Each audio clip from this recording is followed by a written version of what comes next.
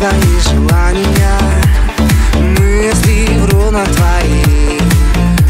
И то, что сейчас у нас есть на двоих